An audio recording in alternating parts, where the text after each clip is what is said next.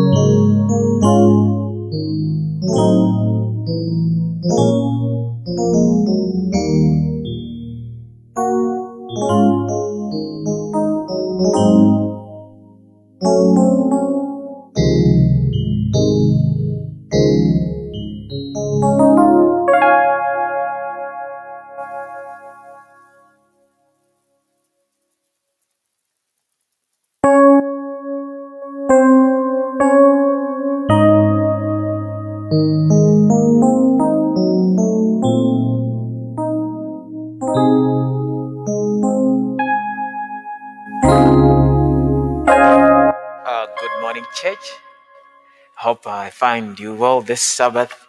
Uh, uh, I'm so excited to be in church after a very long while. Uh, hopefully, all of us will, will be blessed. Allow me to remove my mask and we let us pray.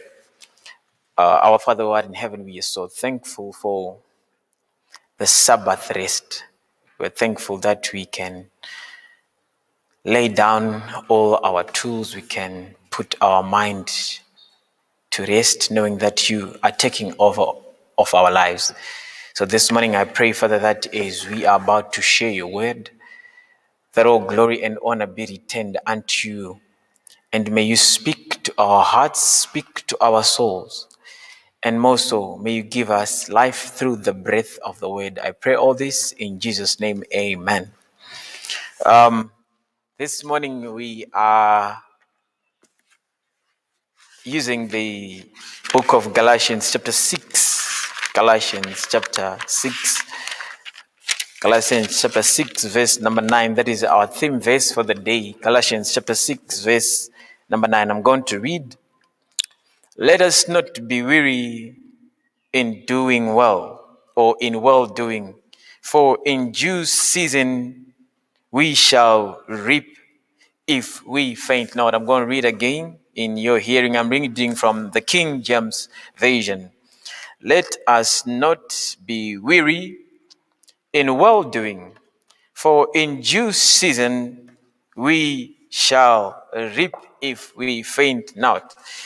Um, there's something very interesting about um, this particular verse.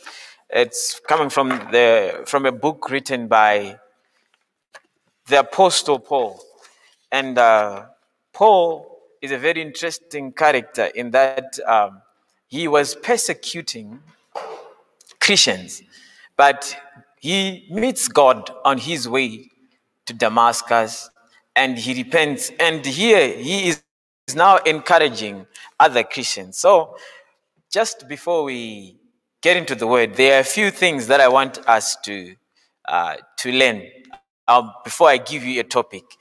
Uh, the word weary can be classified as an adjective.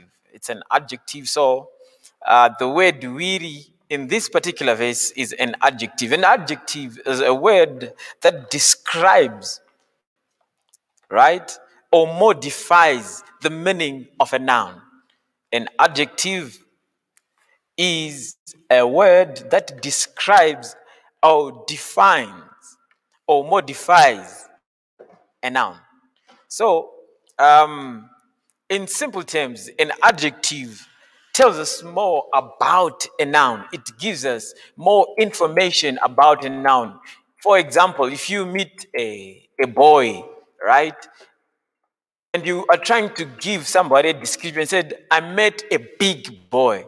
It means you're giving more information about a noun of the boy. This boy is big, which might mean he has more weight, he is better body built. That is what an adjective is all about. So the word weary in this particular verse is a noun that is describing, is an adjective rather, that is describing the activity that is being talked about in this particular verse. It says, Do not be weary in doing good, which means the weariness is being referred to people who are doing something. Hopefully, you are getting it. You cannot be weary when you're not doing anything, unfortunately. So, this particular verse is talking to Christians who are up to something. Well, let me hasten to say it's very unfortunate, probably because of this pandemic that is amongst us, that a lot of Christians are not doing even anything. So this verse does not affect them anyway. I would encourage each and every one of us this morning that we be up to something, at least so that this particular verse becomes applicable in our day to day living.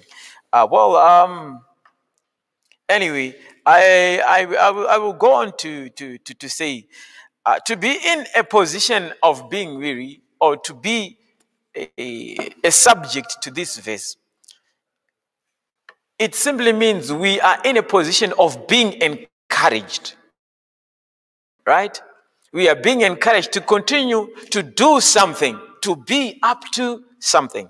Anyway, for our application of, uh, of today's theme, which is do not be weary. Do not be weary is our, our theme for the day. So um, let's open our Bibles to the book of um, Acts chapter 16. Acts chapter 16. I'm going to read from verse number 19 to about 27. 19 to about 27. Let's not forget our theme is be not weary. Be not weary. Um, verse number 19. And when her masters saw that the hope of their gains was gone, they caught Paul and Silas and drew them into the marketplace unto the rulers, and brought to them the magistrates, saying, These men, being Jews, do exceedingly trouble our city. Right? I will read that again. These men, do exceedingly trouble our city. Verse 21. And teach customs which are not lawful to us to receive, neither to observe, being Romans. And the multitude rose up together again against them. And the magistrate rent off their clothes and commanded them to beat them. Verse 23 And they had laid many stripes, and when they had laid many stripes upon them, they cast them into the prison, charging the jailer to keep them safely, who, having received such a charge, thrust them into the inner prison and made their feast fast in the stock. And at midnight, at midnight, Paul and Silas prayed and sang praises unto God, and the prisoners heard them. Um, when the Spirit was upon Paul and Silas. They went on a mission to preach the word. And when they went to this particular city and they were busy ushering people unto God through the gospel, praying, preaching, and many people were, were, were, were turning to salvation through the gospel or through the work of Paul, of Paul and Silas. It is said that uh, they met a certain lady who was possessed with a, an evil spirit or an unclean spirit. And they cast out this demon, right? Of which I would classify those acts as uh, good works. Yes, they are good works. We would classify those as good works, right? And we would expect the whole city to be happy that somebody has been delivered. But unfortunately, or fortunately, in the eyes uh, uh, uh, of Paul and Silas, they were persecuted for doing good works. And as a Christian, I would say sometimes as we do good works, we should expect persecution, or not everyone is happy because of the good works that we, we will be doing. Um, so I would still encourage us to continue doing those good works besides the persecution. Not only were they persecuted, verse number, verse number, number, number 22 says, the multitude rose against Paul and Silas and they began to beat them, right? not only were they persecuted by words, right? They were beaten. So it's not enough for you to be a Christian and be persecuted by words. At some point, they become physical, or the world becomes physical, and they start beating you. And if I was in Paul's shoes, I'm sure after hearing them scorning me or abusing me verbally, I would run away. But Paul and Silas continued doing good and they were taken and beaten. Verse number 23 says, The magistrates rent off their clothes and commanded them to beat them. Uh, it's not so easy to think that you are working for Christ and get persecuted. And people even rent their clothes so that you get more beating. You know, it's very, very, very funny story. And when they were laid many stripes upon them, they cast them into the prison, charging the jailer to keep them safely. As if it was not enough, there was verbal abuse, firstly, and there was physical abuse through beating. They were thrown into the prison, or the people or the magistrate decided to throw them into, into prison, right? When they were thrown into prison, follow me closely. When they were thrown into prison, right? Um, they were not only put in prison. The Bible says here in verse number 23, they, char- they charged the jailer to keep them safely. Not only that, this gentleman or this jailer took them into prison, right? Not only prison, but into an inner prison. That's what verse number 24 says. And not only that, they were their feet were fast into the into the stock. Um, but the Bible says in verse number 25, which will be our mainstay in this presentation.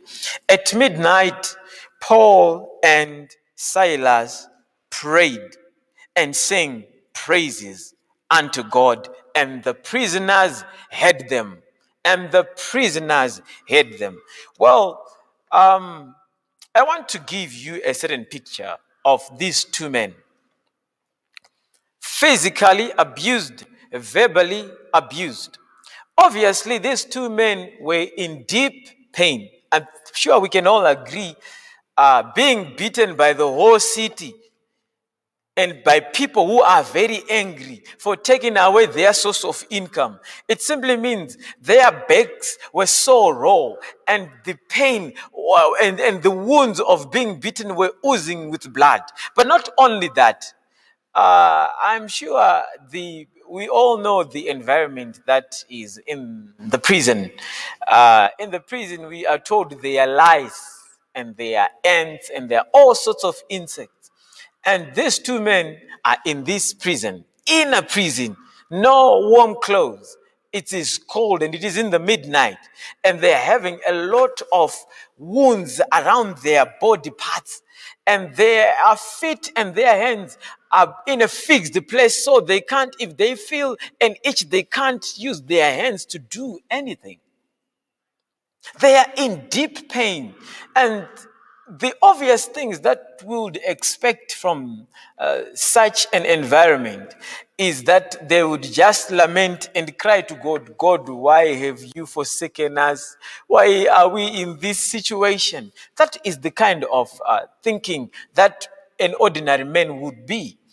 But funny enough, we are told in verse number 25, in the midnight, Paul and Silas prayed and sang praises unto God, and the prisoners heard them.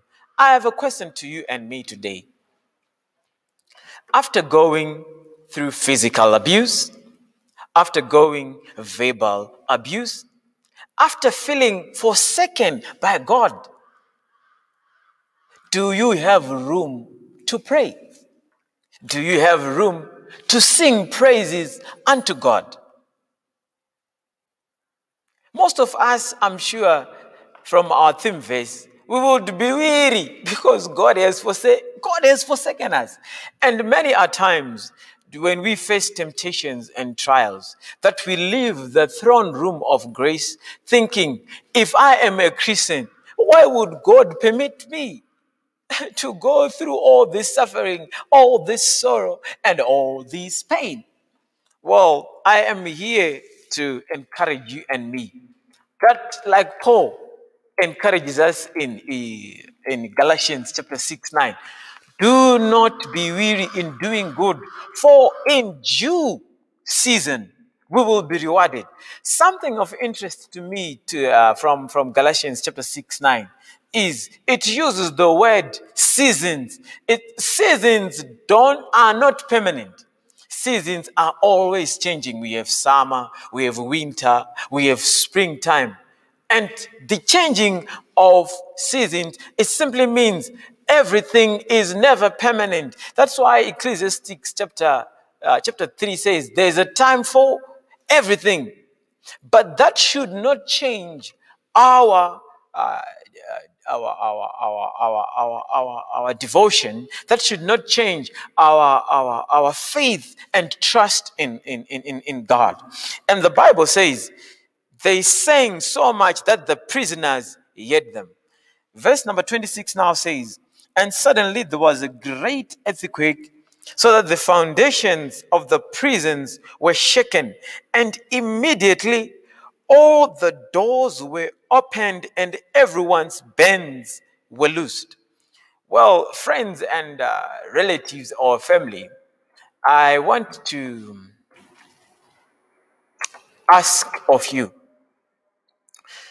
anything that you do, it is of consequence. Anything, let me repeat that word. Anything that you do, it is of consequence to those that look up to you.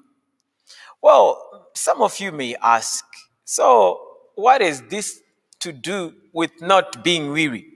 Remember, if you read the whole chapter, the 16th chapter of the book of Acts, the main purpose of um, Paul and Silas being in this particular city was to spread the gospel, right?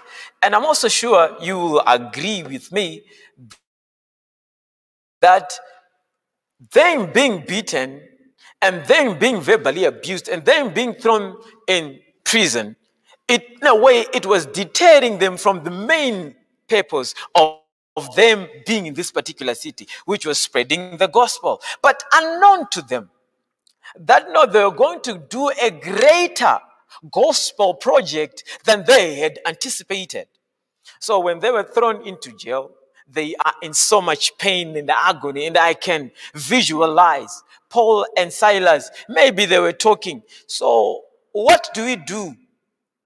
That is, if it was today's dinner, they would ask themselves, so what do we do? We don't have our phones. We want to share these verses. And they are probably at the end of their thinking and their planning. And probably Silas saying, there's no network coverage in this particular in this particular cell. And actually, we don't have airtime. Those are the excuses that they would have given had it been in this our generation. But they laid aside all the pain they laid aside all their worries. They laid aside all their problems. And they sang and prayed and praised God in prison. Not only were they singing in their hearts, there is something that is interesting about Paul and Silas. If it was me, I was going to whisper, whisper you pray in the morning, so that no one can hear my, my prayer. But they publicized and they praised God that even if we are going through hardships and problems, they even made it so loud that other prisoners paid attention to what they were doing. This morning, uh, our thought is that as Christians, our lives should be lived so loud enough that everyone that we meet is able to hear that we are living a life that is holy. Let me challenge you this morning. If you are going through hardship, supposedly you are not employed, are you also complaining like everyone else? Or are you praising God that through your unemployment, many may see Christ? Well, Paul and Silas sang and prayed. This is totally directly opposite to what is supposed to happen to somebody who is in pain. When you are in pain, the expectation is you are crying and mourning. But these two men are praying and praising or singing praises to God.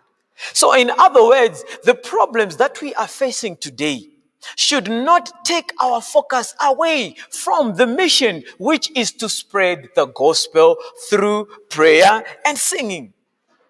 In simple terms, do not be weary in doing good. Doing good is not giving people food. Doing good is not giving people shelter, but doing good is making sure that everyone who is around you sees Christ in what you do. Well, I want to ask those uh, that are employed Do your workmates know that you are a Christian? Do your workmates know that you are not only a Christian, but a Seventh day Adventist Christian? But not only that, let's bring it down. Do your family members believe in the God that you purport to live for? Do your relatives understand or do they even have the desire to try and know the kind of God that you serve? It's up to you to decide this morning if you want to live for Christ it's up to you this morning. If you want people to see Christ in everything that you do, it doesn't matter bad or good happening to you. The Bible is saying, do not be weary in doing good, for in due season you shall be rewarded. Um, there's something that I just want to share before, uh, before I close. Um, in reunion the group, the music group that I sing with. Uh, there's uh, one of our founding members, uh, Ndabangwenye. is a very smart guy, smart as in dressing, even smart as in thinking. But um, when we usually have programs, everyone was unable to tie a knot of their own neckties. So we would bring, we would come to the program with our ties in our pockets, and we would ask him to tie these, uh, to, to, to, to, to, to put on our ties for us or to make the knots for, for our ties. And we would always ask him, So, how do we do this? And he would always give us instructions to try and help us. But still, none of us was able to, to, to, to put on the ties the way he, we would love to, you know. So, um, one day, I did not ask him. I just gave him my tie and looked at him as he was tying the tie. And I was saying, I, I made sure that I see every move that he was making in putting on that tie. And today he now asks me to tie the knot for him because I'm now doing it better than him. And simple, I'm just saying, the world is no longer in need of Christians who gives them instructions. The world is in need of a Christian who is able to demonstrate of how to be Christ-like. In a world where people have become so discouraged, in a world where a lot of people's hearts have become so heartbroken and devastated, the world is looking for Christians who are able to sing and pray and give praises to God even though they are going through pain. So that in due season, the rewards that are expected can be reaped. Well, my last illustration is if you want to sell avocados, or if you want to get into a business of avocados, you need to plant avocado trees. Oh, let me repeat that one. If you want to sell avocados, you need to plant avocado trees.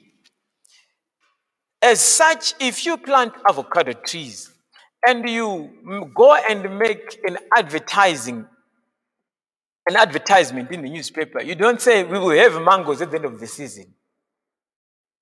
Because the expectation is because you have planted avocado trees at your place, you are expecting avocados, not mangoes. If you are going to get mangoes, you need to also plant mango trees. So when we see you having a mango advertisement, it simply means there's something wrong with the trees that you've planted, or there's something wrong with you. The expectation is, in due season, we are going to reap. But the Bible says, if you read, read Galatians, it says, do not be fooled. Whatsoever, and do not be fooled or do not be mocked, for God is should not be mocked. Whatsoever a man sows, so shall he, so shall he reap. So if you are expecting to reap good rewards or big rewards, you should also be in the field planting big things. Well, the Bible then now tells us in verse number 26 and suddenly there was a great earthquake. So the foundations of the prison were shaken, and immediately all the doors were open, and everyone's bands were loosed. The purpose of the gospel is to free people from the bondage of sin. It's so unfortunate that many Christians today are preaching the gospel of prosperity. Well, it's fine. But that's not the purpose, the sole purpose of the gospel. The sole purpose of the gospel is for people to be freed from the bondage of sin. Is for people to be freed from the problem of sin. So when you as a Christian are living your life and people are not being freed around your community, around your vicinity, it means you have failed. For the Bible tells us in Matthew chapter 18 that we should go therefore and preach this word unto every nation, tongue, and tribe. As such, we as Christians should never be weary until we have reached the purposes and the, and the goals of the gospel. The Bible tells us in verse number 26 that there was an earthquake. And this earthquake was so much big and so much loud that the doors of the prison went wide open.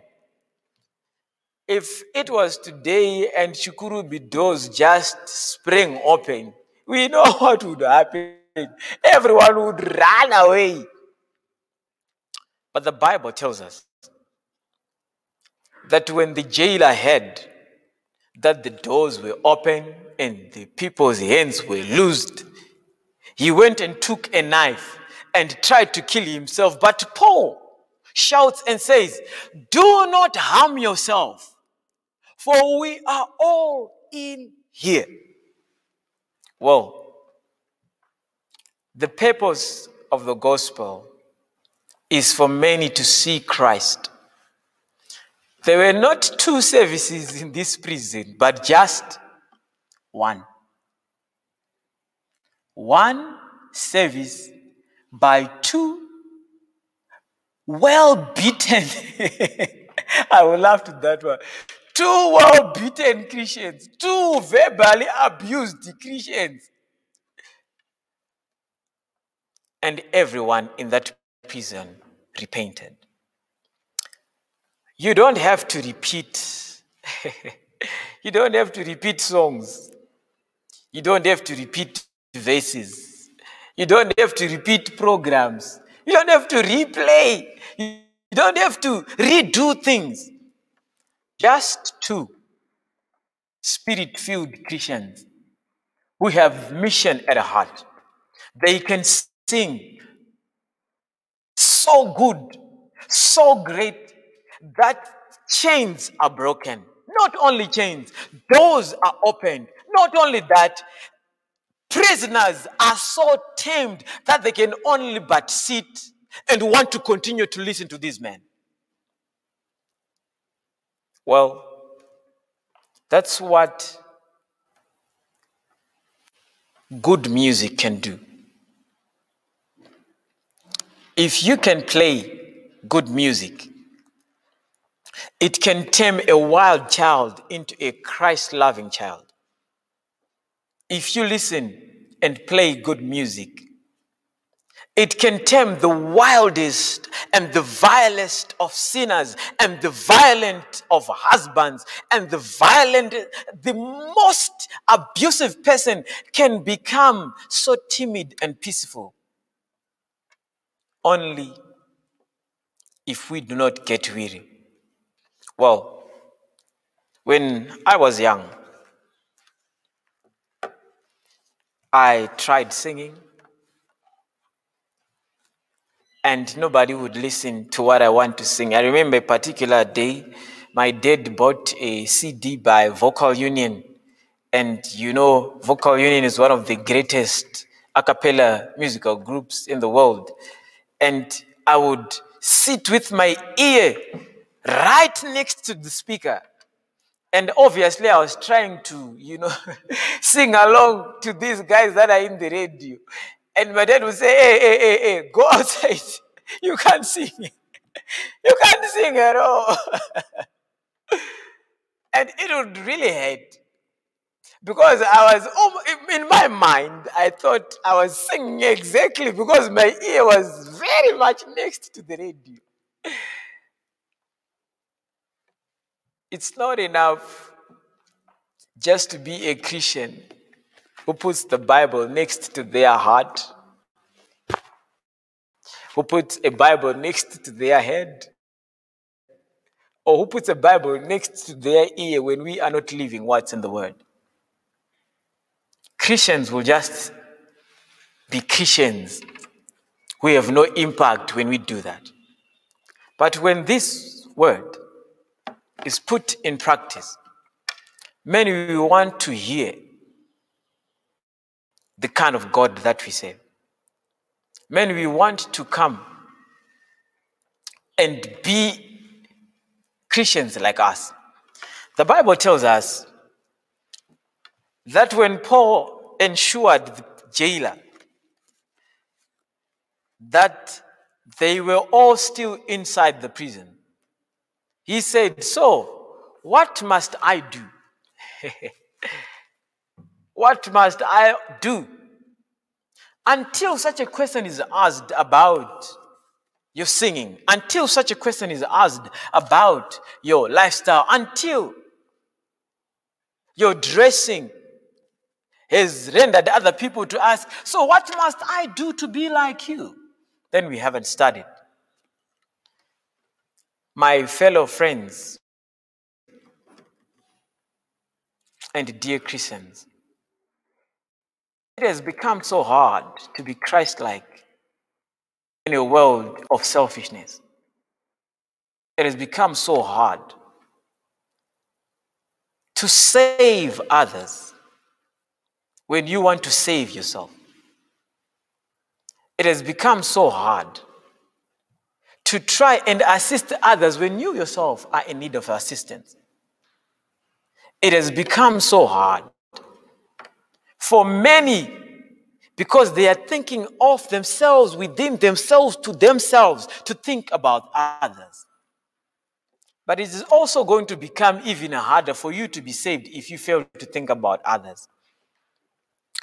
The long and short of this presentation this morning is we are told the jailer was baptized. We are told not only him, but his wife was baptized. Not only his wife, we are told the children were also baptized. Not only that, even the slaves within his house were baptized. Until such a time when the gospel becomes so palatable as such that a member of the family does not want to be saved alone, then we have not started. Many of us think it is just enough for you and your wife to be baptized. It's not enough until the garden boy who saves you at your house is baptized and sees and feels the emptiness that I need to serve the God of my masters.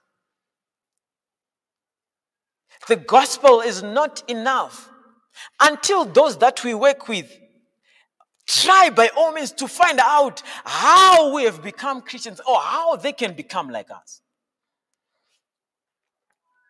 Lastly, we are told Paul and Silas were released from jail. One wonders in the back of their mind what was in the mind of the magistrates who told them to be thrown in prison. One also wonders what happened in the minds of those that had beaten them a day or two before. One wonders what happened to those prisoners they were with in jail. The simple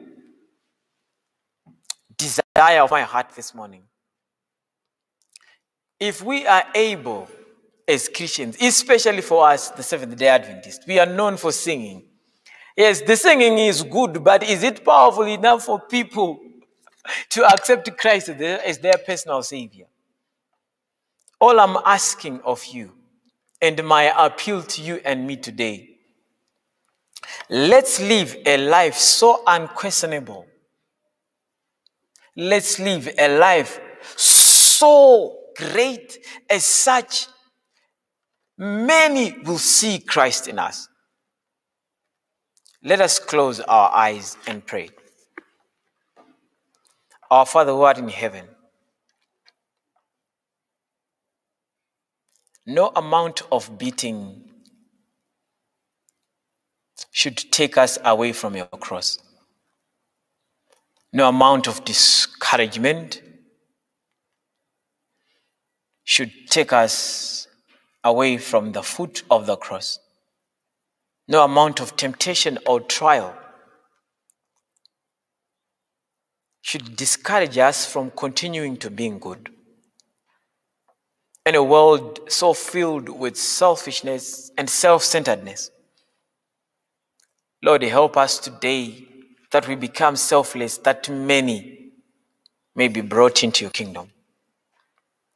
For your word encourages us that it is not done by power or by mighty, but by your Spirit. So we are praying this morning, Father, that may the Holy Spirit come and make a dwelling in our hearts so much that many may see Christ in the way that we dress, that many may see Christ in the way that we talk, that many may see Christ in our conduct but more so, that many may see Christ in our teaching. Many may see Christ even in our singing. And when you have done that, may all the glory and honor be returned unto you. Lord, I pray that churches are physically closed, but our hearts are still open unto your salvation. May you save us from wherever we are some are in bed. Some are seated in their, in their homes. Wherever we are, Lord, may your Holy Spirit come and make a dwelling in us, as such that we don't become weary in becoming like Christ, that many may be added to your kingdom. But that at the end of it all, may we all be saved into your kingdom. Kingdom. I pray all this in the mighty and loving name of Jesus. Amen.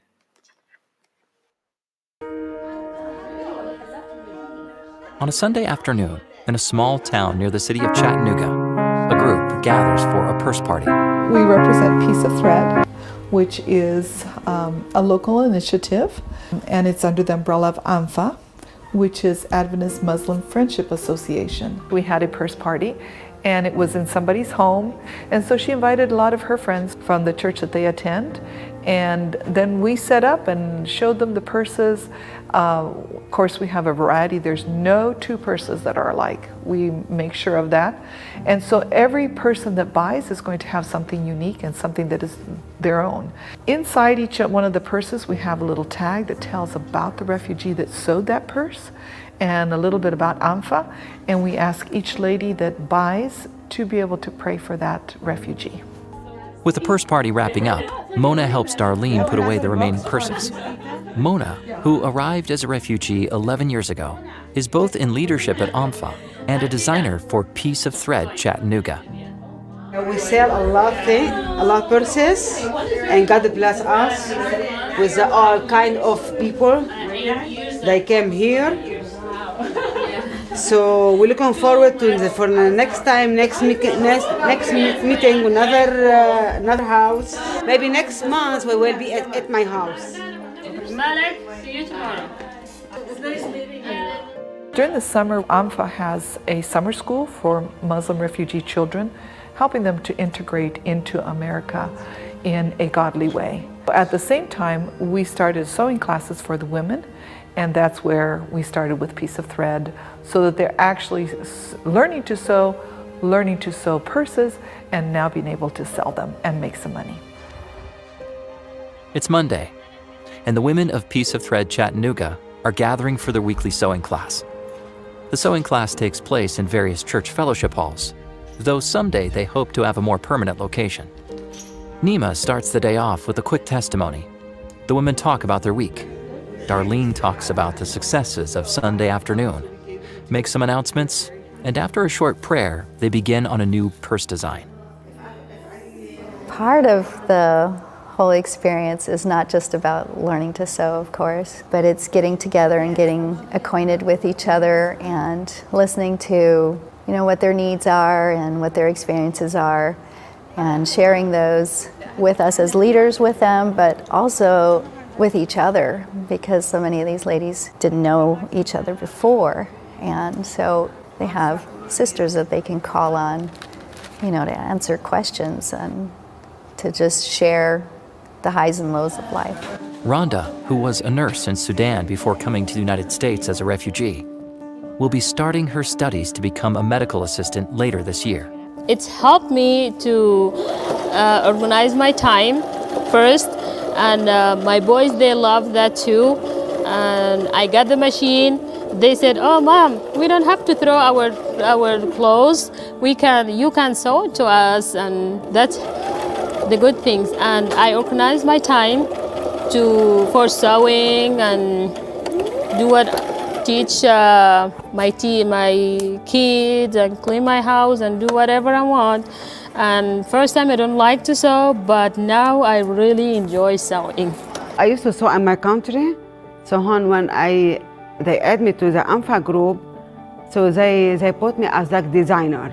I came here as like refugee, and now my turn to help refugee, to help them what they need, what they want, uh, especially the woman. So now they, they have an income every month. So I'm happy when I see them very happy.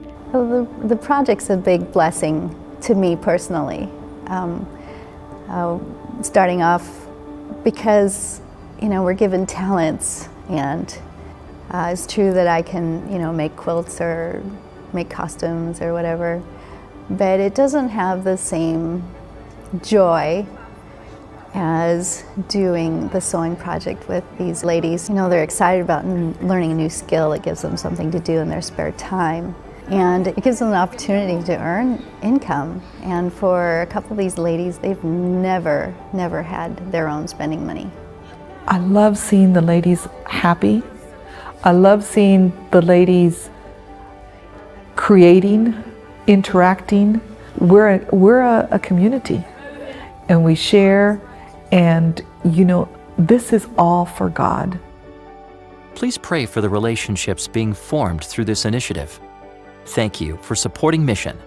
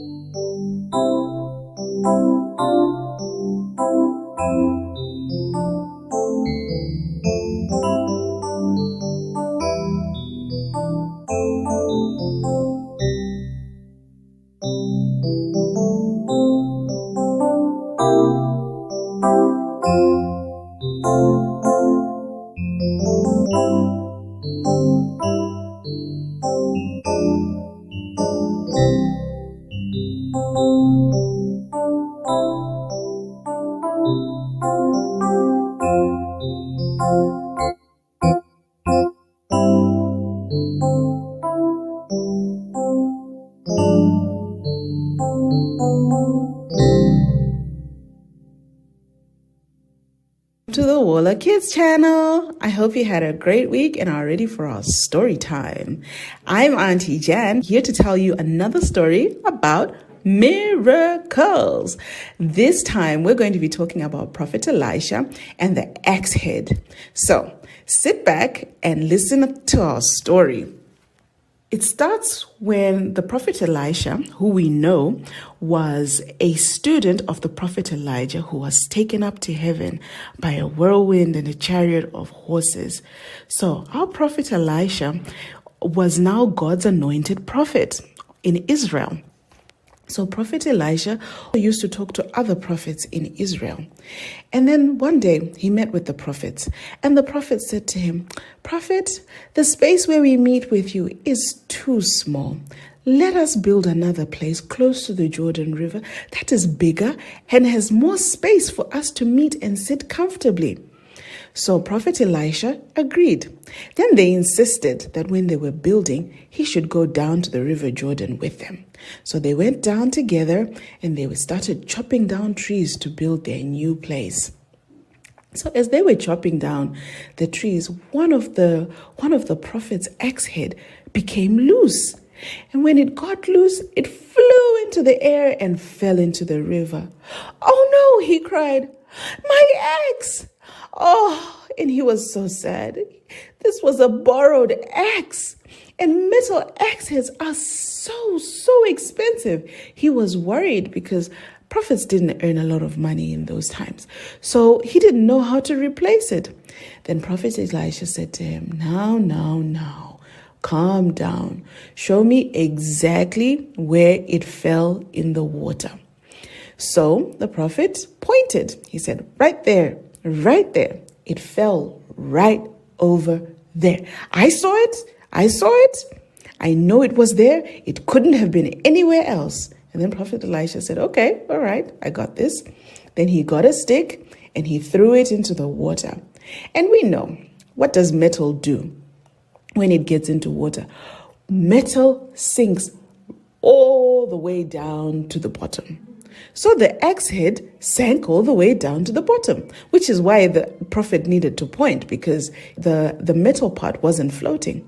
So when the prophet Elisha threw his stick into the water, can you guess what happened to the axe head? Anybody? Can you guess? Can you guess? Do you think that maybe the axe head um, started blowing bubbles to show people where it was? You know, like how people just blow bubbles when they're underwater? Or do you think the axe head floated? Floating? Hmm. The axe head actually floated. Ah, how does metal float? Oh my goodness, that was so amazing. Then the prophet Elisha said, Go ahead, lift it out, take it out of the water. And the prophet went on and he lifted out the axe head and he put it back on his stick. Amazing stuff. Now, this could only have been a miracle, a miracle from God.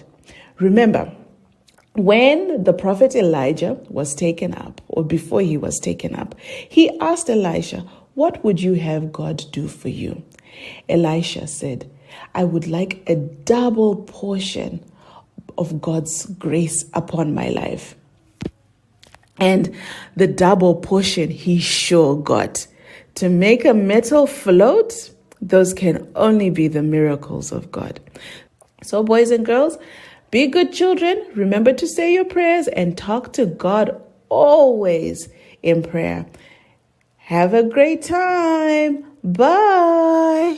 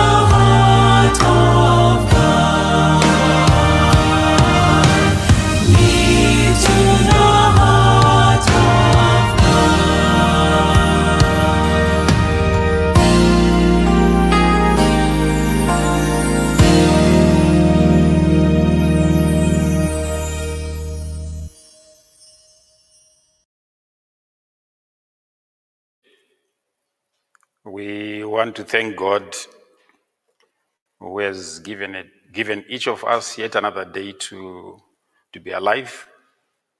We want to thank God. He has seen us to this point.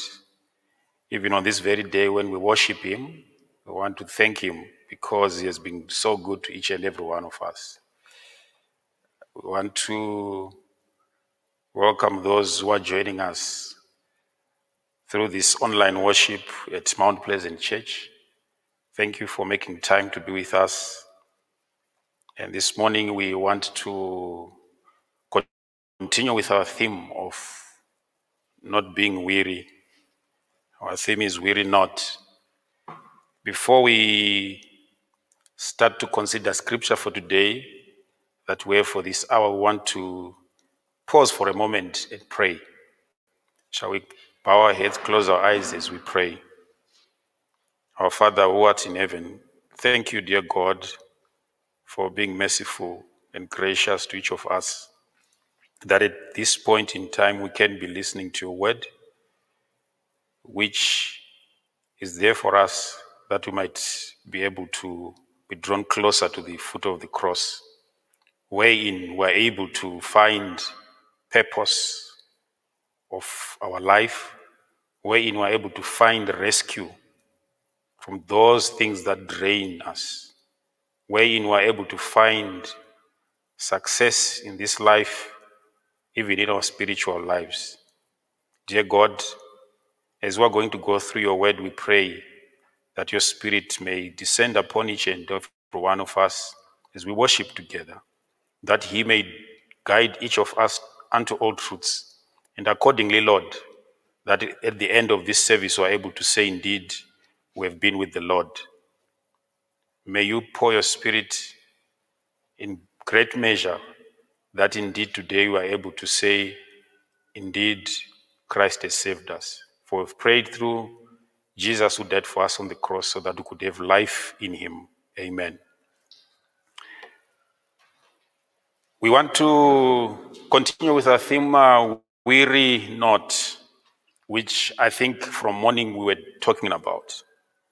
And I think as we are considering in the morning, we looked at different portions of scripture on the same topic. And we continue on the same, looking at other portions of scripture as we consider the same theme. I think it is very clear that in our time as we are here, many of us, if not all of us, are affected or perhaps unfortunately infected by the pandemic which has so far uh, engrossed the world. And this pandemic of COVID 19 has been so much impactful that it has even upset different economies across the world. It has not only affected the economies that are third world, but even first world economies have been affected.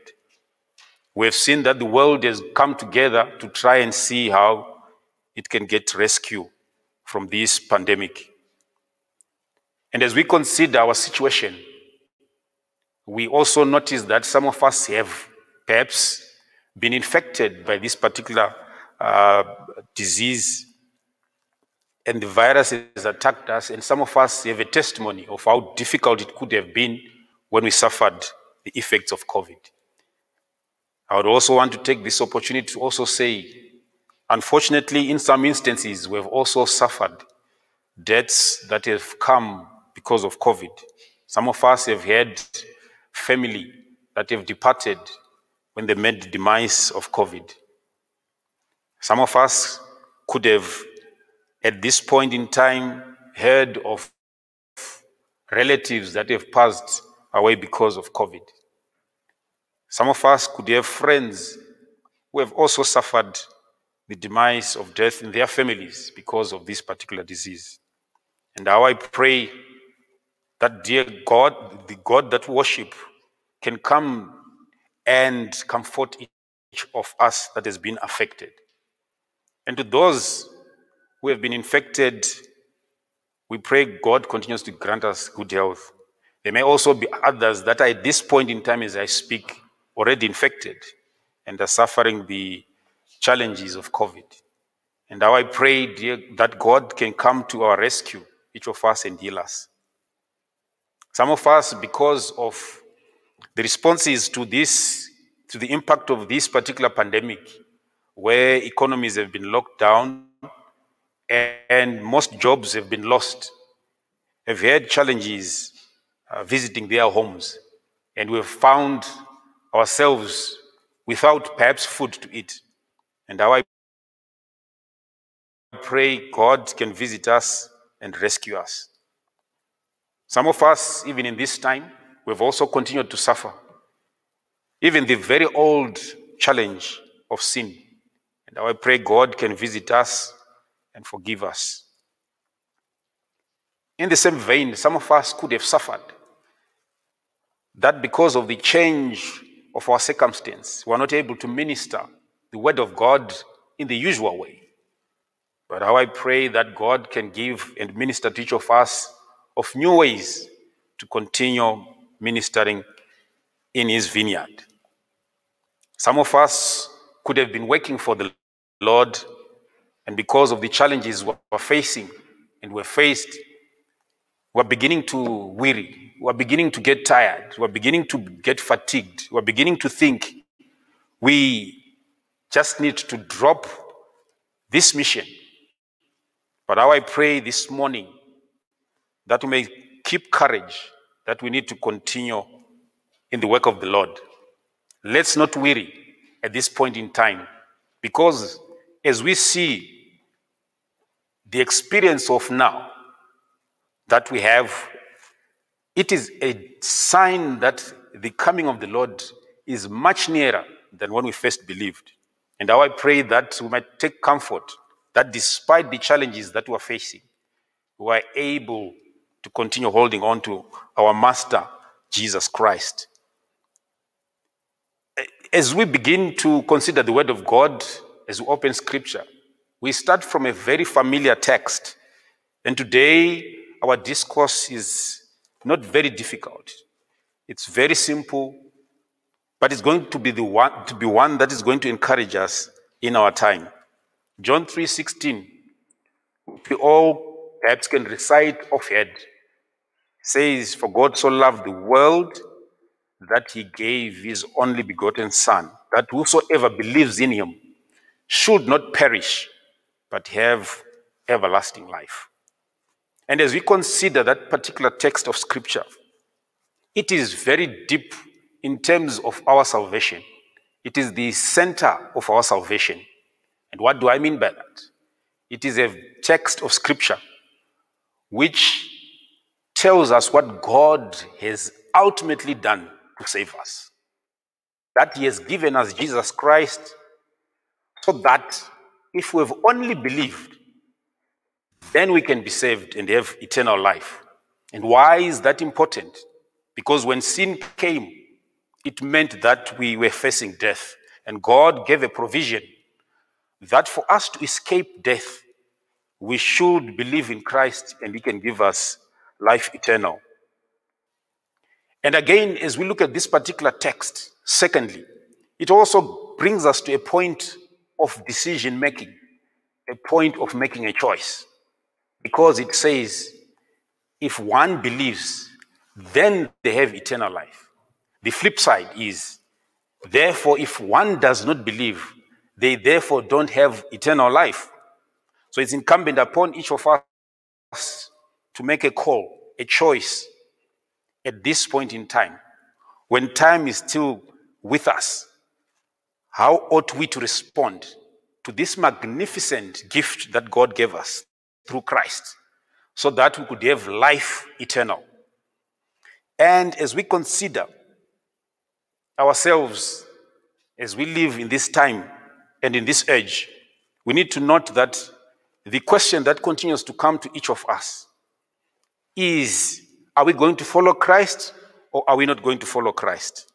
And this is what John 3:16 challenges us to, to consider. And, and, and if we look at the blessing that comes from following Christ, there is life eternal that's given as a gift that when we've believed in Christ, then we have life eternal. But then someone is going to ask me, but what do you mean? As we look in our lives, we have death ravaging our lives. We have lost loved ones. Some who even believed, and we know they believed God. So, what does this mean that we have life eternal? And we look at that particular text of scripture. It goes beyond this death that we are suffering here on earth, which is actually termed by Christ sleep at some point.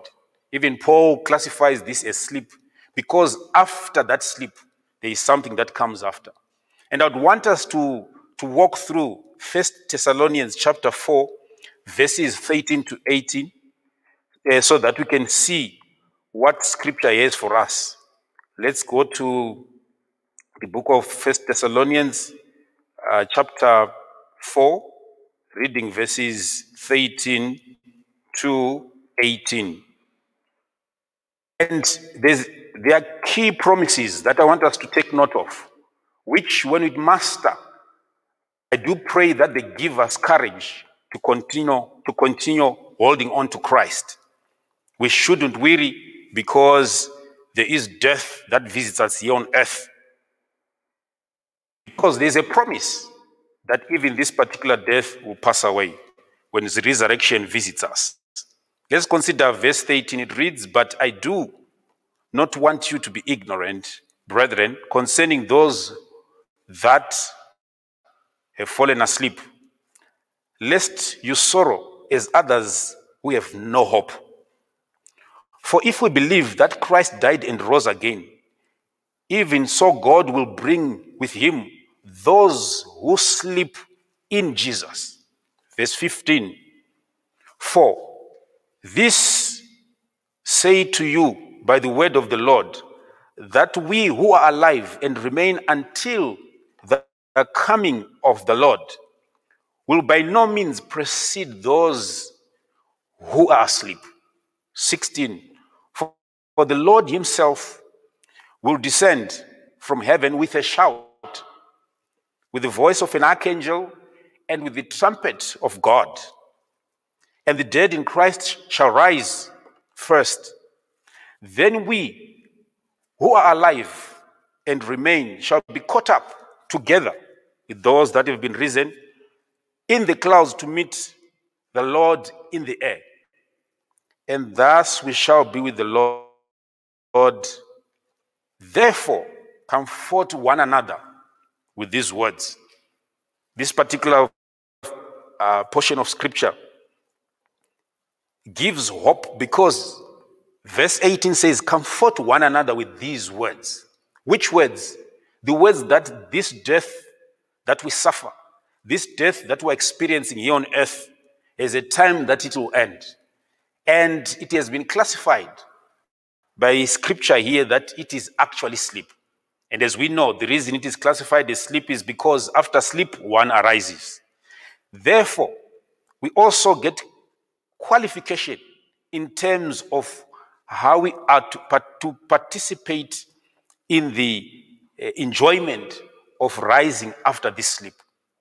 The first part, it says, those that have slept in Jesus, those that have died in the arms of Jesus, those that have believed, those that have chosen to follow the precepts of John 3:16, to believe in God so that they have eternal life. Those ones who have died, whether they've died of COVID or any other disease, they will arise when Christ comes. Because when Christ comes, He's going to resurrect those who have slept in Him. So, lesson number one those that sleep can choose to sleep in Jesus when they have believed before they have slept. They cannot choose to be in Jesus when they have slept. They choose to be in Jesus before they have slept. So as I speak this morning, I admonish us to make a choice. John 3:16. Let's believe in Christ so that we can have life eternal. And why did John 3:16 say that you're going to have life eternal? It's because the experience of death is but an episode that will pass when you have believed, because we know there's going to be a resurrection. And why do we believe there's going to be a resurrection?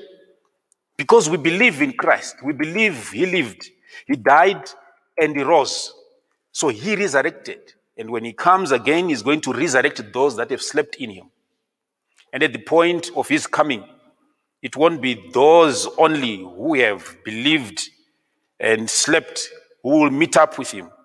Those who are alive and again are believing in Christ will too be caught up when he comes in the clouds to meet with the Lord, so that they can meet their loved ones who slept in Christ, who have now been resurrected. Therefore, because death has a solution, according to 1 Thessalonians chapter 4, verses 13 to 18, we are comforting one another that those of our relatives, those of our family members, those of our friends, those of our workmates who have slept in the arms of Jesus, we will be able to meet with them at resurrection morning if we too would have chosen to be in Christ. It doesn't matter. We could have joined them in sleep. By the time Christ comes, we will also resurrect. If we are alive when he comes, we will be caught up when the dead in Christ have been resurrected and Christ gives us life everlasting, which is promised in John 3 16. That's why I said that text is so deep for our salvation because it is the hope that we will live forever with Christ. Despite this episode, we suffer on earth of death. Why am I sharing this particular portion of scripture? We might be weary. We have lost loved ones. We have lost family members. I know as I'm speaking, some have lost their parents. Some have lost their children. Some have lost their grannies. Some have lost their friends, best of friends. But hear me this morning as we consider this text. Let's consider to choose Christ because in choosing Christ, there is a hope after death. This earth, this death that we have here on earth. And, and as we consider this particular text of scripture, one, one can then say, okay, how do I live in this world which is full of all pressures from all sides? Such that I continue with this commitment of continual living in the Lord because I've chosen to follow Him. And let's consider Galatians chapter 6, uh, reading from verse 7 to 10. What ought we to be doing? What ought we to be doing as we continue to live here on earth if we are still alive? And if we go to the book of Galatians, chapter 6, it was shared already in the morning, but I'll just touch a few aspects just to buttress what has already been shared. Verse 7 of Colossians chapter 6 reads Do not be deceived. God is not mocked. For whatever a man sows, that he will also reap. For he who sows to his flesh will of the flesh reap corruption. But he who sows to the Spirit will of the Spirit reap everlasting life. Verse 9 And let us not grow weary while doing good, for in due season we shall reap if we do not lose heart. 10 Therefore, as we have opportunity, let us do good to all especially to those who are of the household of faith. So, Galatians 6 comes to tell us okay, we've chosen Christ as our personal Savior. We choose to want to live by the precepts of Christ. How ought we to live? And the substance of our living, the style of our life is evidenced or is given in Galatians chapter 6, that we need to continuously do good, not to a few men, but to all men, number one. Number two, especially those who are of the household of faith, those we share the same faith with. But let's take note, it doesn't say exclusively those of the household of faith, but it says especially. It doesn't say exclusively. It means we have to be sharing goodness with all men and prioritize those of the house of faith. How do we do this? We should understand that as we live, Christ came down to demonstrate how we ought to live. And if you look at the life of Christ, the substance of his life was interacting with those who were less privileged the orphans, the widows, and those that were in need, ensuring that they had an uplift of their life. I know some of us could be doing the same at this point in time, helping the needy, looking after the elderly, making sure that they prioritize the health and prioritize the shelter of widows. Do not weary. Continue doing the good thing. Because Galatians is saying this what is what we ought to do. Because verse 7 says, God is not mocked. Let's not be deceived. What we are sowing, what we are sowing is what we are going to reap.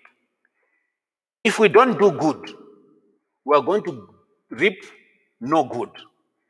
If we are going to sow good, so shall we reap good. Let's not think there's another formula. The Bible is making it clear that as we have believed in Christ, we ought to do good unto all men. And it also says and qualifies, in case some may wonder, what is to, to, to sow in one's flesh, as verse 8 uh, uh, puts it across. If you are sowing in your own flesh, it means you are self centered. You are so selfish that you just want to increase the abundance of what you have, forgetting the needs of those that are around you, never sharing with anyone to the very extent that you won't even visit those who are in need. You won't even be able to give those that need. But if we sow to the Spirit, the Spirit of Christ, which was the Spirit of God, which is the Spirit of giving, we will be able to bear each other's burdens despite what they are. It could be poverty.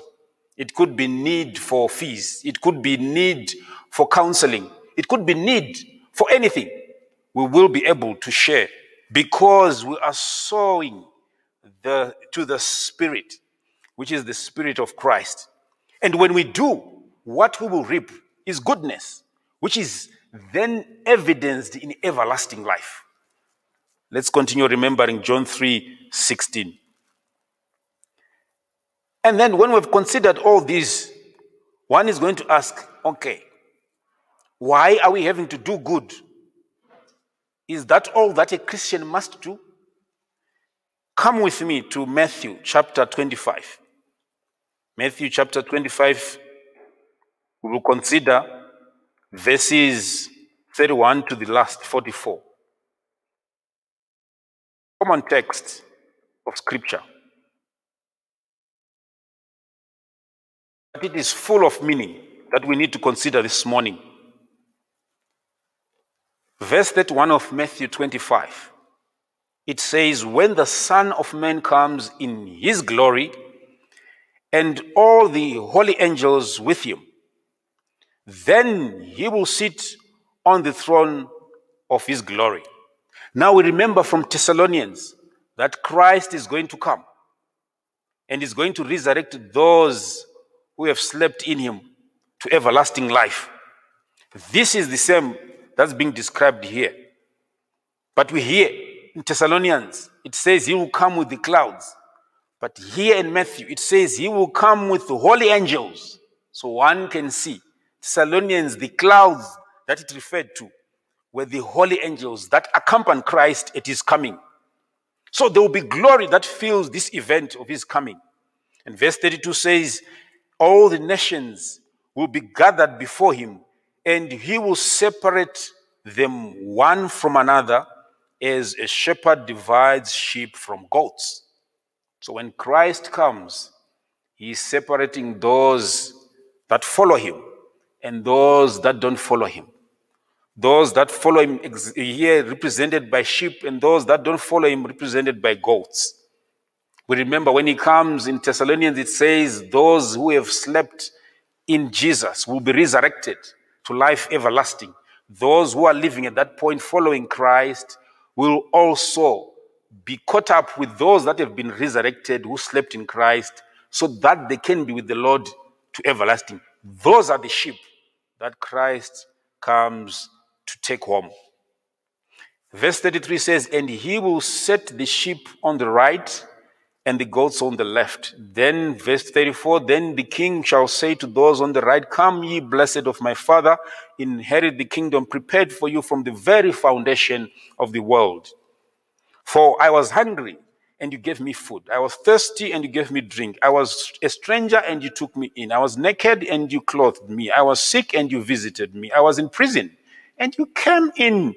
You came to me. Then the righteous will answer him and say, Lord, when did we see you hungry and feed you, or thirsty and give you drink? When did we, when did we see you a stranger and we took you in, or naked and clothed you? Or when did we see you sick and in prison and come to you? And the king will answer and say to them, Assuredly I say to you, inasmuch as you did it to the least of these my, bre- my bre- these my brethren you did it to me. Then he will say to those on the left depart from me you, cur- you cursed into the everlasting fire prepared for the devil and his angels. For i was hungry and you didn't give me food. I was thirsty you didn't give me drink. I was a stranger and you did not take me in, naked and you did not clothe me, sick and in prison and you did not visit me. Then they shall answer and say, Lord, when did we see you hungry and thirsty, or a stranger, or naked, or sick, or in prison, and we did not minister to you? Then he will answer and say, Assuredly I say to you, inasmuch as you did as you did not do it to one to at the least of these, you did not do it to me. And these will go away to everlasting punishment, but the righteous into eternal life. So Matthew is now buttressing Galatians chapter 6 by doing good. By doing good, Christ is already telling us we become the sheep that he will come for. By not doing good, we become gods. And we've seen what the ending will be. The sheep to everlasting life, the goats to everlasting punishment. So as we consider John 3:16, let's make a choice. It's a point of making a decision. If we believe in God, we become his sheep and we receive eternal life. Despite the challenges we might face, despite the burdens we might suffer, including the death here on earth, as it is an episode that will be passed as Christ comes to take his home. And as we consider as well, it will be regrettable, it will be so sad that we'll be found as goats because we did not do good unto men. We were sowing to ourselves, we were feeding selfishness, we were feeding self abundance and forgot about others. How ought we to look to every corner of our lives in our family as we start? Is are the members of our family well fed as we are also fed?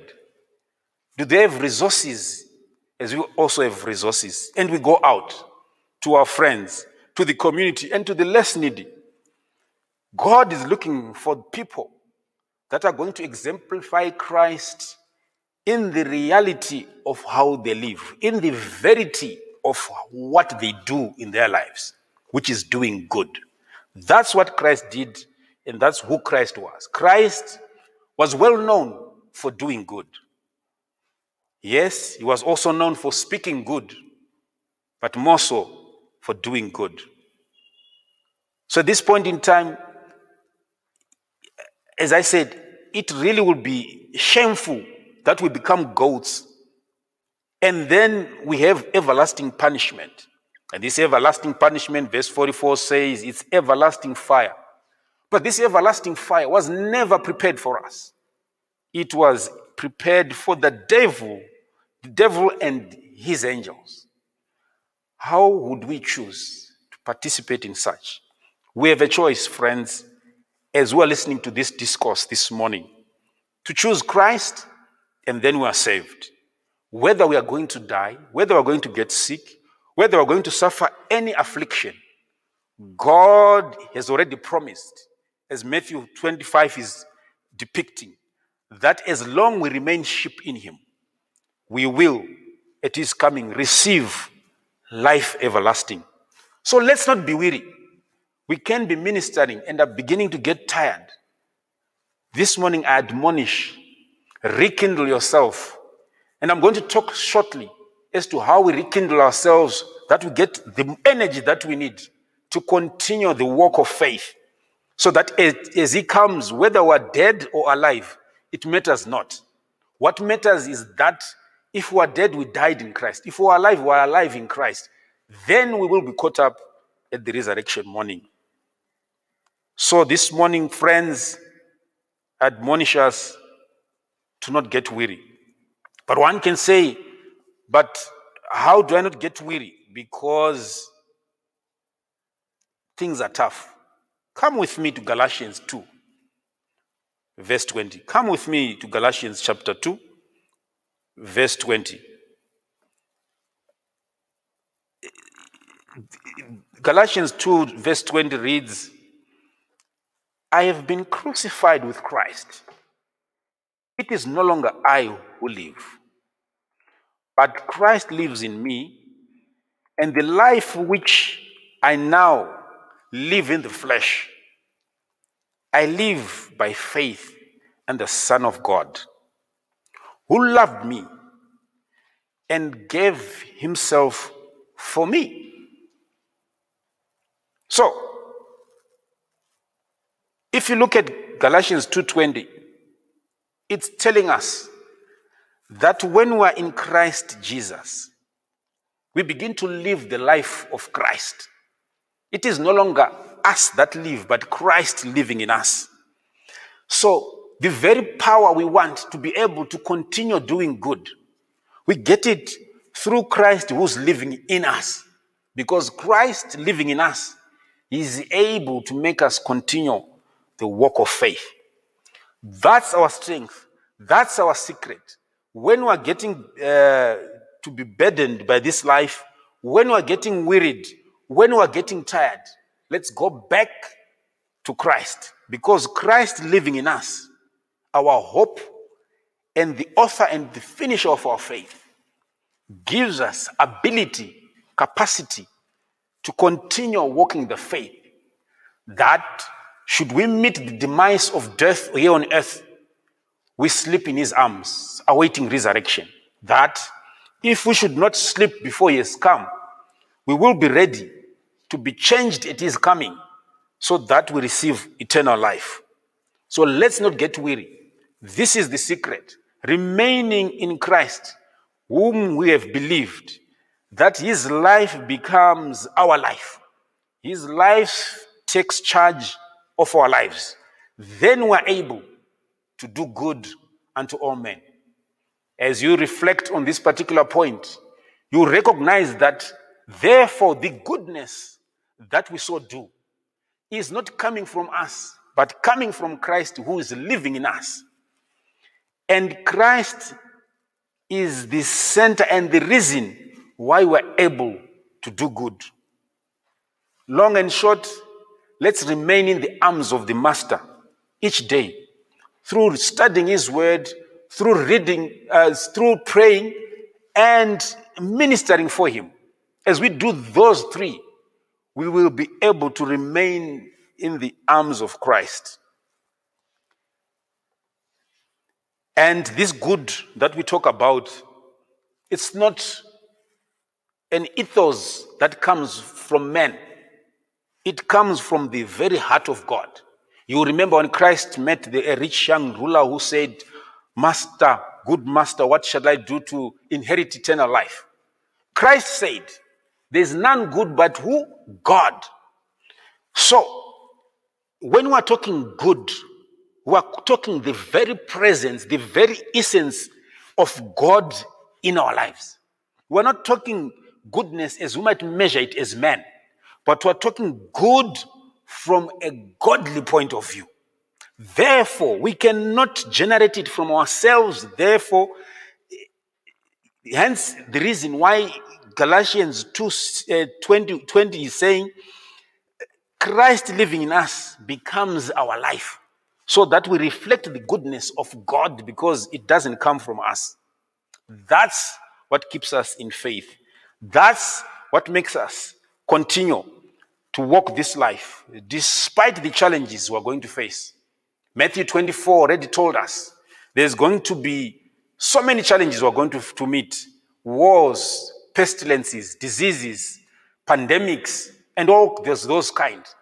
But we'll be able to sail through to realize the goal of eternal life, whether alive it is coming or dead when he has come, as long we remain in Jesus. That's our hope. Someone might say, "Ah, How come, how, how does Christ give me the ability to continue to live and not get weary? And I have the following text to share with us,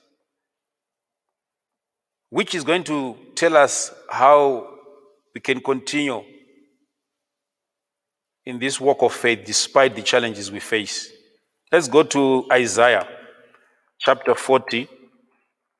Isaiah chapter 40.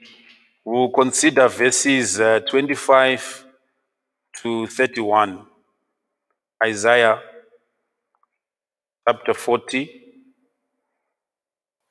verses 25 to 31.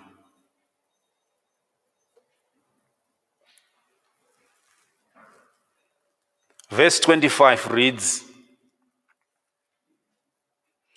To whom, this is God speaking, to whom then will you liken me? Or to whom shall I be equal? Says the Holy One. Verse 26 Let up your eyes on high, lift up your eyes on high, and see who has created these things, who brings out their host by number. He calls them by name. By the greatest greatness of his might and the strength of his power, not one is missing. Why do you, O Jacob and O Israel, sorry, why do you say, O Jacob, and speak, O Israel? My way is hidden from the Lord, and my just claim is passed over by God. Verse 28 Have you not known? Have you not heard? The everlasting God, the Lord, the Creator of the ends of the earth, neither faints nor is weary. His understanding is unsearchable. 29 he gives power to the weak. And to those who have no might, he increases strength. Even the youths shall faint and be weary, and the young men shall utterly fall. But those who wait on the Lord shall renew their strength. They shall mount up with wings like eagles. They shall run and not be weary. They shall walk and not faint. So Isaiah introduces God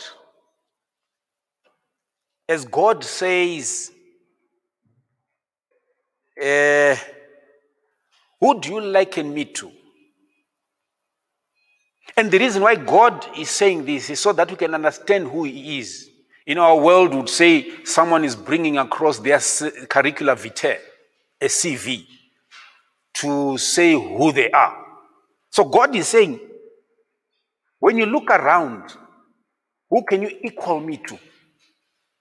I equal, I am equal to no one. I am above everybody that you can think of. I'm above everything that you can think of.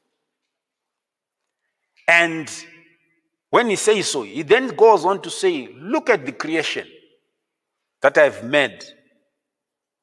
The things that I've created are so many and vast. Look up and check. And I think if we look in the sky, we'll see the galaxy of stars. And he says of them, they are numbered. So they are not just a counted figure of objects that God has created, but they are numbered. They have a number, they have a name, they have a title to them. Like we can say, this star that we see, which lights up earth, sun, we actually give it a name. They are known. That's how mighty God is. And there are billions of them. And God is saying, when you look at that, that's what I created. So who can you equal me to? God is making sure that you understand who He is and you can understand what He is standing on when He then says, I give strength to the weak. He goes on to say, Why, Israel, do you say your ways are hidden from the Lord? Yet I have created this vastness of universe. And why do you even complain and say, I, I, I, I, I pass uh, the just claim you have? God is saying there is nothing that's hidden from me because I am God. So when you should suffer, I am your God because I give strength to the weary. And he says, I am not like you. I don't faint, neither do I get weary. Therefore, you can trust me when it comes to non fainting, when it comes to not getting weary. You can indeed trust me. Not, not only because of that, but because I am a creator of this magnificent universe that we've spoken of. And because of that, and because I don't faint and I don't get weary, I am the one, the source of the weak, that I give them strength. Those that are weak, I give them power. Those that lack might, I give them and increase their strength. Why? So that they don't faint and don't get weary. And one could say, but it doesn't affect the young people. But Isaiah is saying, even the youths can faint and can get weary and can utterly fall. But God is saying, I am available to ensure that I give you power to avoid fainting. I give you power to avoid getting weary. So, as we're looking at our discourse this morning, weary not. We weary not because God has given us strength. We weary not because Christ is living in us. We weary not because Christ continues to do good in us, and outward we also show goodness to others because He is the source of our strength. And He says, Should you be weary? Verse 31 Come and wait upon me, for I will give, I will renew your strength. You might be faint, you might be weary, but there's no loss of hope. You can still go back to the Lord. I can still go back to the Lord, even though I may have fallen utterly. God is saying, in that utterness, of falling, I am able to pick you up and give you strength again so that you may not be weary, but that you can actually fly with wings like eagle, eagles, to be able to continue doing good unto others, to continue walking the walk of faith. You will actually run like athletes and not get weary because I give the strength. You will actually be able to even walk but not faint. Why? Because I, the Lord, will be your source of strength. I will replenish as you come for renewal. I will replenish that strength that you have so that you weary not. So, friends, as we come to sum up what we have studied this morning, let's remember the key question was Are we going to choose God or are we not going to choose God? Because God so loved us that He gave us Christ, that whosoever believes in this Christ that He has given us will have everlasting life. And then we went on to, to, to check then how ought we to live? We noticed we need to continue doing good to all men. And then we asked ourselves, but how can we be able to do good to all men? We suffer affliction, we suffer trouble, we suffer persecution, we even suffer death here on earth. But we realized if we are living a life in Christ, we are able to be sustained in doing good because the source of our goodness we do to others is coming from Christ Himself. When we went to Isaiah, it was very clear that God is ready to give strength to those that will come to Him for a renewal and will mount up with wings as eagles and be able to fly to continue without wearying. Not because we are any special, but because God is giving us a renewal. God is living in our hearts.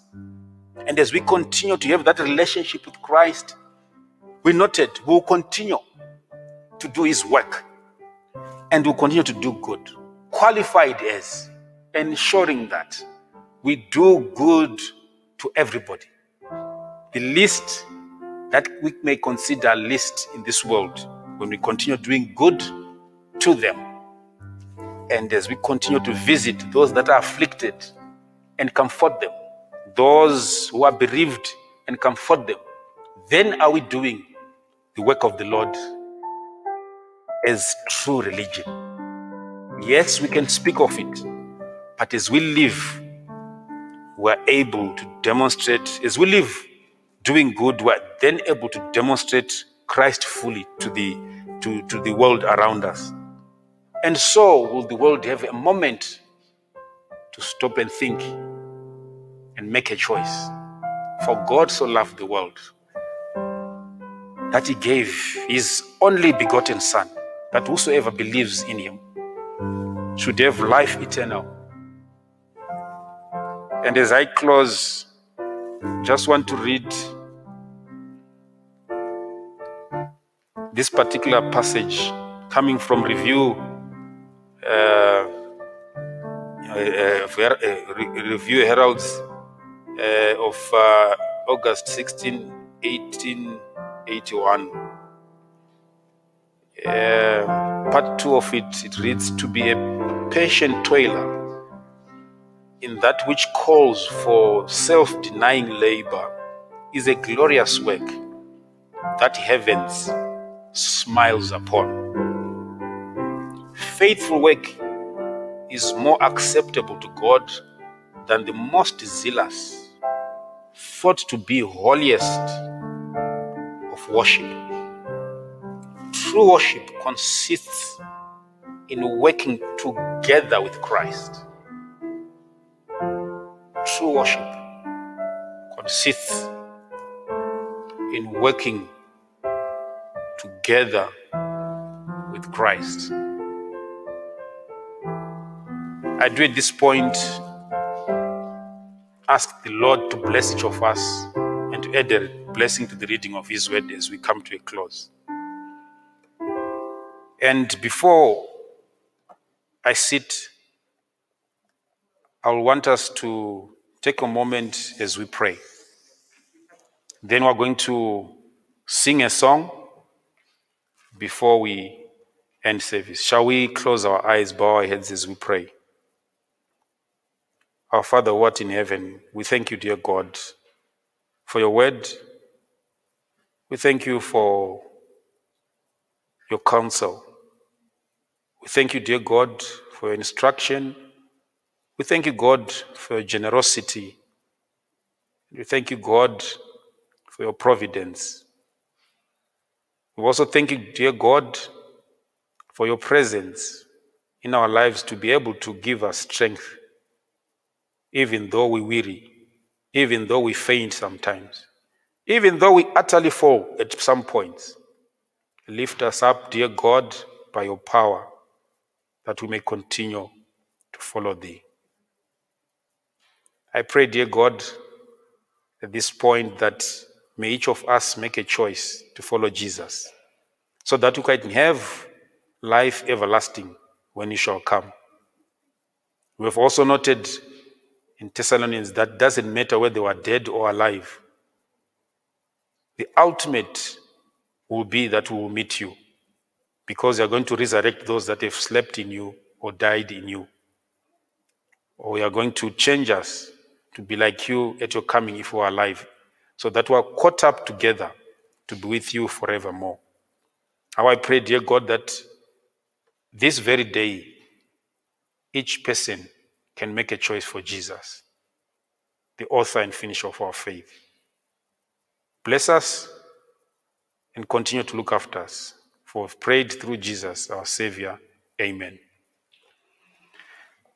At this point in time, would want to consider singing um, 202 um, in closing, if we may, as we close um, our worship. Jesus, Savior, pilot me. We're singing this because we want to acknowledge that God, through Christ, is the one who pilots us through all the treacherous sea that we might, we might face in life even though the oceans may be wild before us, in various forms, we still can remain faithful to the end and not get weary. Weary not, save, uh, saint, weary not as you continue holding on to Christ, our Savior. So we'll sing that in closing.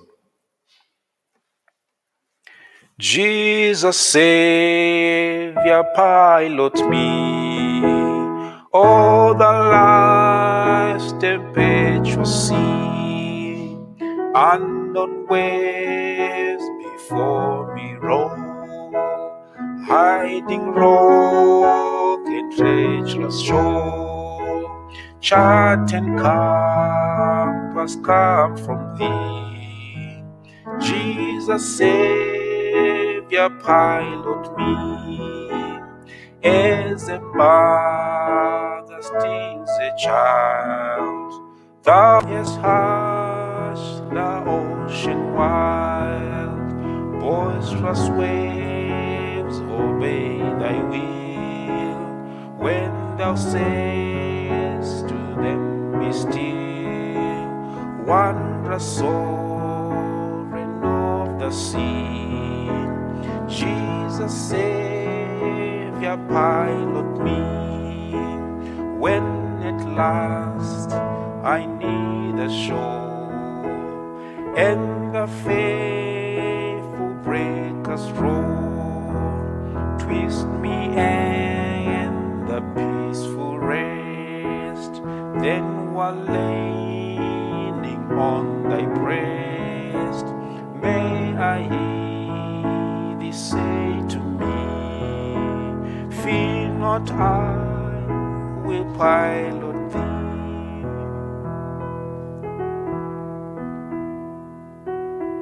May God bless you.